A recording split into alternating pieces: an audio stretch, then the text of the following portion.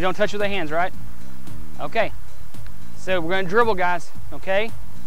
When we dribble, all it is is short kicks, right? Running while we're doing short kicks.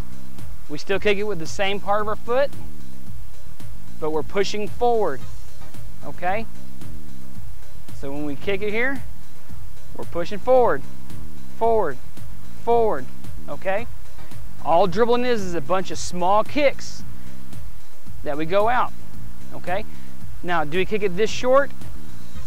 You're gonna run over it, okay?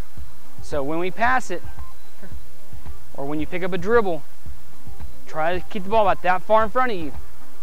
That way what happens? Here we go. Okay? So either way, you can step and you can step, okay? So what we're gonna do is we're gonna dribble. See these three cones? Dribble around there, come around, and back through here, okay? And then go to the end of the line.